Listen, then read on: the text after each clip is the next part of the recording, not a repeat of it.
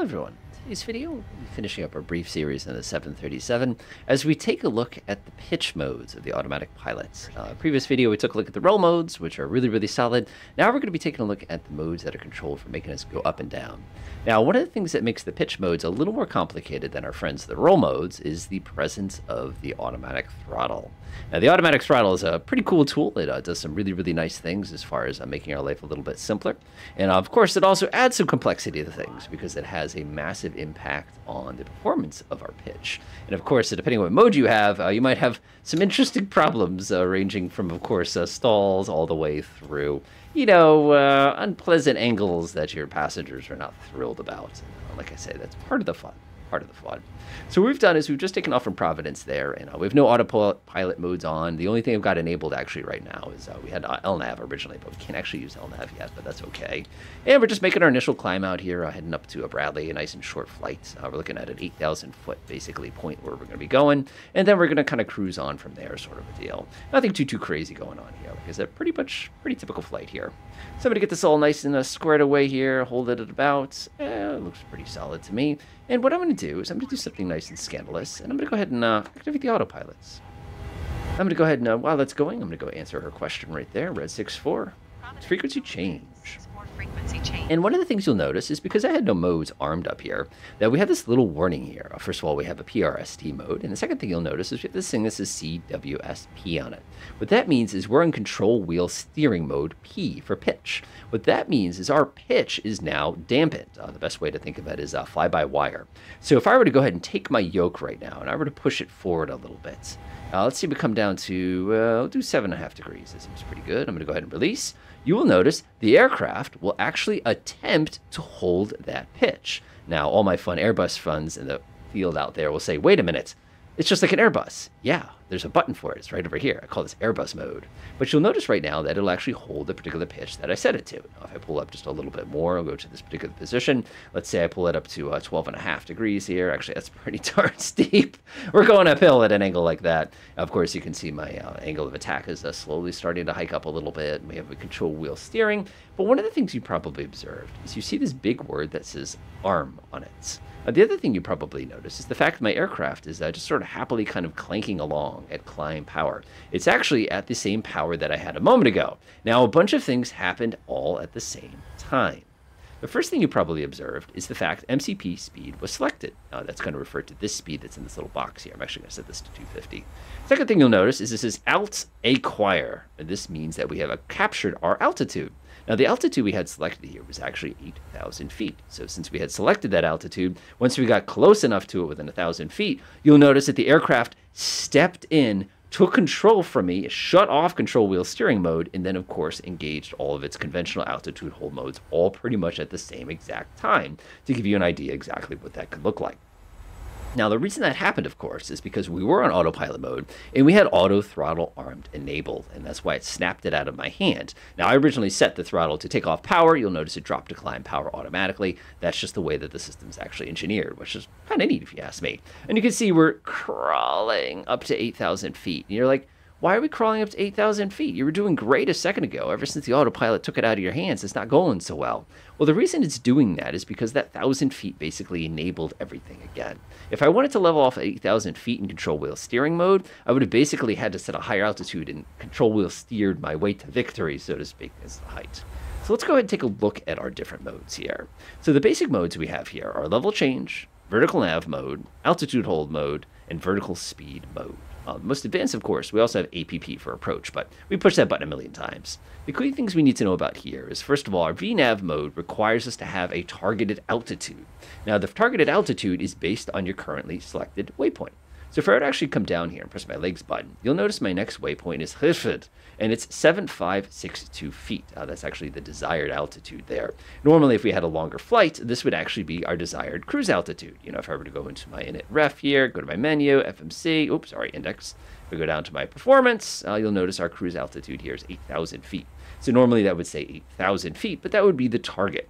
Now, where VNAV gets interesting is on this aircraft, we can VNAV up and we can VNAV down. To VNAV up, of course, we have to have auto throttle, otherwise bad things will happen. And of course, to VNAV down, we can simply enable VNAV and select an altitude to the that we want to set as our base. So for example, if I know my approach here is going to have an altitude of, let's call it 2100 feet is kind of that particular piece. Now, if I were to go ahead and um, select this and press VNAV, this aircraft would know that it's okay to descend.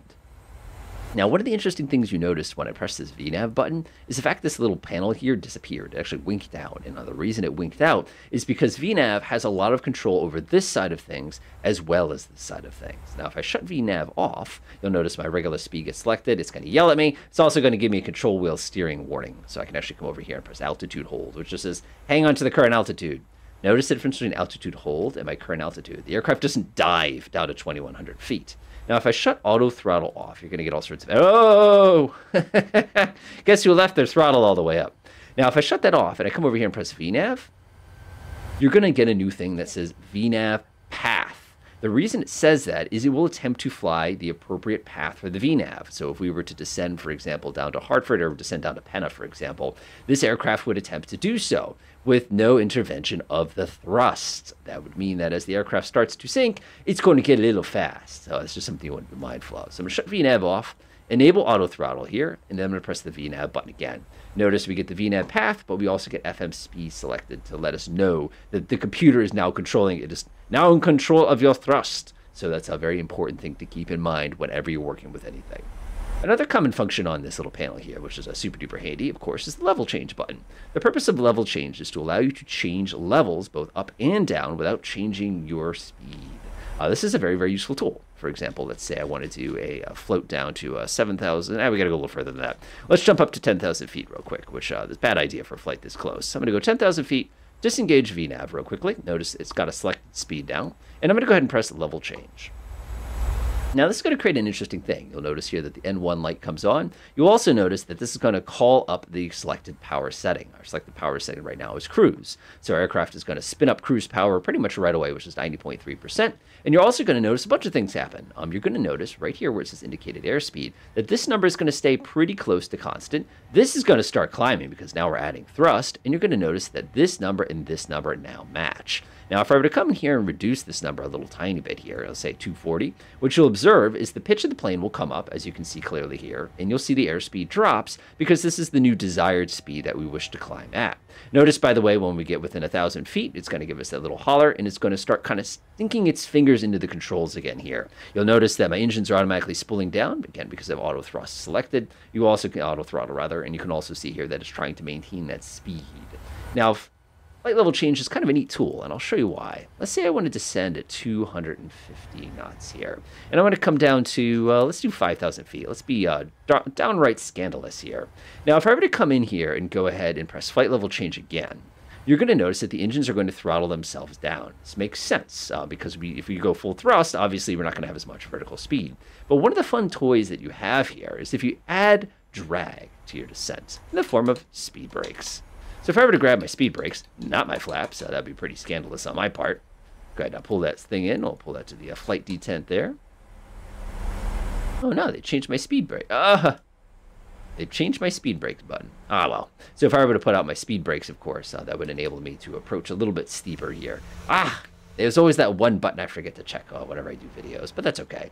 So what you would do is you pop out your speed brakes and to make the aircraft uh, come down quite a bit steeper. And again, the reason it would do that is on account of the fact that uh, you're coming in quite a bit, um, like I said, quite a bit more drag, so it would be a little more aggressive. Oh, there it goes. Now it's working. Ah, whatever. I'm not going to mess with it. I think you get the idea. So the other advantage we have too, other than the fact that my pressurization system's yelling at me because I started descending right away, is we have the other option to go ahead and use vertical speed. Now, one thing I want to say is whenever you get everything squared away the way you want it, if you ever shut off a particular mode, you will automatically flip over to control wheel steering, which will maintain whatever you left it at. So if I left this level with this power setting, you'll notice I'm going to proceed down to that specific altitude. Remember from before though, because this is on and because we're armed, which is what this text here says, we will capture it. Now, the interesting thing is if you try to change this right now upwards, the moment we cross the two with each other, you will instantly level off at that altitude. Now, one of the cool tricks we can actually do here, which I think is really, really cool, is I'm actually going to arm speed, and I'm also going to altitude hold. Now, altitude hold will attempt to hold the altitude that you just pressed the altitude hold button at.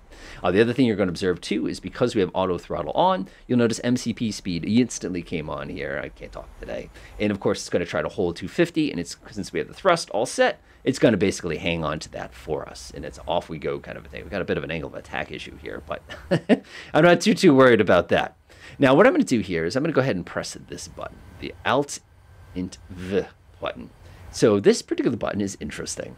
Now what this button does is it's going to tell the system to ignore uh, what you had for the next lowest altitude. So for example, if we were trapped at 8,000 feet, because uh, they put us at 8,000 feet in Hartford, if I pressed this button, it would delete that altitude so that the aircraft could continue its descent downward. It's kind of a neat little button that uh, we can use for that particular purpose, and it can be very, very helpful depending on. I always like to say, if for some reason your plane levels level set off at 12,000 when you're supposed to be descending, double check to see if you have an altitude constraint, and then double check that you can violate it. But the moment you bop that button, it would go ahead and continue its descent downward.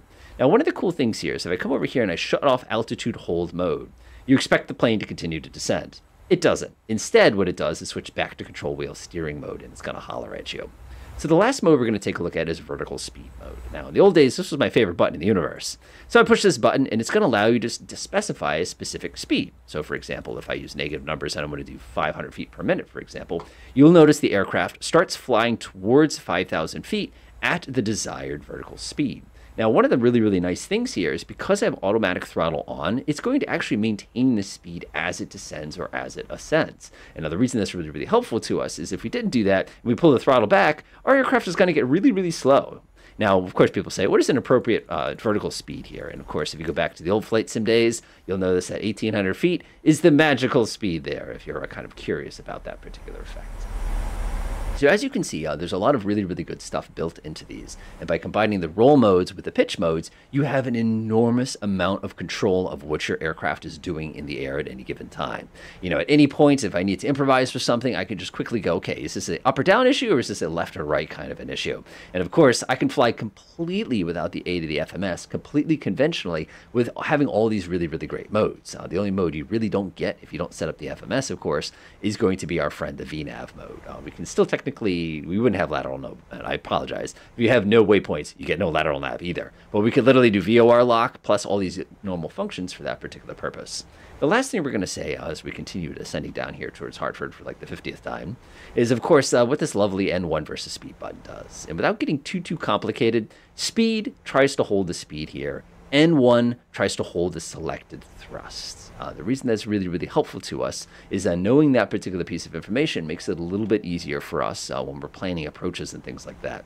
If I were to use my climb power now, it would actually be giving me my cruise power because of the way that I have that set. Now, if I say maintain a specific speed, it's going to try to hold the speed limited by the power rather than just give me all the power we got kind of a thing.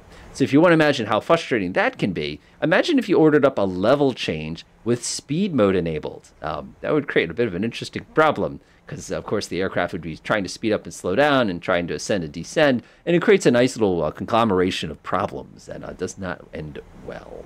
Uh, the last thing I will say, as always, is uh, people always wonder what happens if you press control wheel steering when everything else is on. So one of the first things that's going to happen, by the way, is if you push that button, you're going to get an alarm. If you just press CWS, one of the things you'll notice is all the modes actually maintain themselves. But the difference, of course, is you have this lovely, lovely control wheel steering mode, plus the assistance of the automatic thrust there, or the auto throttle, I should say. It's not automatic thrust on a Boeing. All in one combined package. Now, the cool thing, of course, is if I want to switch from CWS over to CMD, I can just shut it off and push it, and then I'm on my way. Enjoy.